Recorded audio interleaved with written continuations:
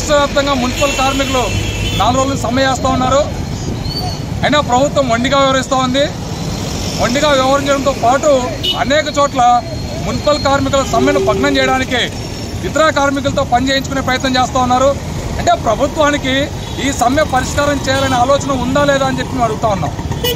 ఈరోజు ప్రజలు ఇబ్బందులు పడుతూ ఉంటే పారిశుద్ధ్యం సమస్యతో మున్సిపల్ కార్మికులతో మాట్లాడాల్సింది పోయి వారికి ప్రత్యామ్నాయంగా కార్మికులు తీసుకొచ్చి పని చేయిస్తామని చెప్పే పద్ధతిలో ప్రభుత్వం పూనుకోవడం అనేది చాలా అన్యాయమైంది. దీన్ని ఈ ఆలోచన విరమించుకోవాలి ప్రభుత్వం చెప్పి మేము డిమాండ్ చేస్తున్నాం. అలాగే అనేక చోట్ల మున్సిపల్ కార్మికులపైన దౌర్జన్యాలు చేస్తున్నారు. అధికార పార్టీకి చెందిన కొంతమంది భయపడించే పద్ధతుల్లో ఈరోజు వారు మున్సిపల్ కార్మికులపైన దౌర్జన్యం చేసి పనిలో పెడతామని చెప్పి చూస్తున్నారు. ఇది సరైనది కాదని చెప్పి నేను చెప్పదలుచుకున్నాను గతంలో తెలుగుదేశం ప్రభుత్వ అధికారంలో మున్సిపల్ కార్మికులు పోరాటం చేస్తే వైసీపీ పార్టీగా మీరు మద్దతు ఇచ్చారు. అప్పుడు మీరు అండగా నిలబడ్డారు. మరి అదే పద్ధతిలో ఈరోజు కార్మికులు పోరాడుతూ ఉంటే వారిపైన దౌర్జన్యం చేయడమైంది ఈ జిల్లాలో తాడిపత్రులు అటువంటి సంఘటన జరిగింది. అందుకని మేము ప్రభుత్వానికి కానీ లేకపోతే ఆ మున్సిపల్ అధికారి యంత్రాంగం చెప్పదలుచుకున్నాం. తక్షణమే ప్రభుత్వం జోక్యం చేసుకొని వెంటనే న్యాయమైన సమస్యలు కార్మికులు ఏవైతే ఉన్నాయో అవన్నీ కూడా పరిష్కారం చేయండి. ఆ రకంగా మీరు పరిష్కారం చేస్తే ఈ రోజు మేము పని లేకపోతాం. అట్లా కాకుండా భయపడిచే పద్ధతిలో సమ్మె విరమింపజేయాలి అణిచివేయాలనుకుంటే అది మరింత తీవ్రతరమైతుందని చెప్పి చెప్పదలుచుకున్నాం. అలాగే కాంట్రాక్ట్ అవుట్సోర్సింగ్ కార్మికులకి మీరు ఇచ్చిన మాటే కదా. జగన్ ప్రభుత్వం అధికారంలోకి వస్తే జగన్ గారు స్వయంగా చెప్పారు. నేను అధికారంలోకి వస్తే వెంటనే కాంట్రాక్టు అవుట్సోర్సింగ్ కార్మికుల్ని రెగ్యులర్ చేస్తానని చెప్పి. మరి ఇప్పటివరకు ఎంతమంది మీరు రెగ్యులర్ చేశారు?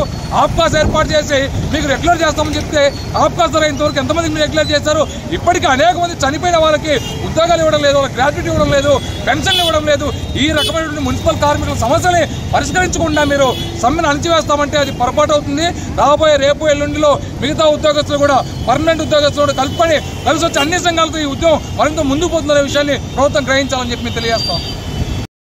రాష్ట్రంలో జరుగుతున్నటువంటి మున్సిపల్ మున్సిపల్ తరఫున జరుగుతున్నటువంటి సమ్మెలో భాగంగా ఈరోజు నాలుగో రోజు నాలుగో రోజున గదిలో కూడా సిఐటి ఆధ్వర్యంలో ఈ సమ్మెలో పాల్గొనడం జరుగుతుంది. నాలుగు రోజులు అవుతున్నట నాలుగు రోజులు అవుతున్నా కూడా ఈ గవర్నమెంట్ మా మా పరిష్క మా సమస్యల మీద పరిష్కారానికి ఎటువంటి కొలికి రాలేదు కాబట్టి ఇప్పటికైనా మా సమస్యలు పరిష్కరించి మాకు ఈ గవర్నమెంట్ ఆదుకుంటుందని మేము కోరుకుంటున్నాము.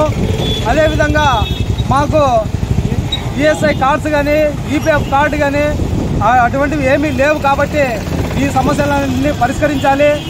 అదేవిధంగా మాకు ఇప్పుడు నిత్యావసర సరుకులు పెరుగుతున్న ధరల్లో ఈ చాలీ చాలని జీతాలతో మేము పిల్లల్ని చదివించుకోలేక మేము పిల్లల్ని చదివించుకోలేక తిండి తిప్పలేక మేము బాధపడుతున్నటువంటి సమయంలో మేము ఈ- ఈ ధర్నాకు ఈ ఈ సమ్మె చేయడం జరుగుతుంది కాబట్టి మా సమస్యలన్నిటి మీద ప్రభుత్వం సానుకూలంగా స్పందించి మాకు న్యాయం చేకూర్చాలని కోరుకుంటున్నాము.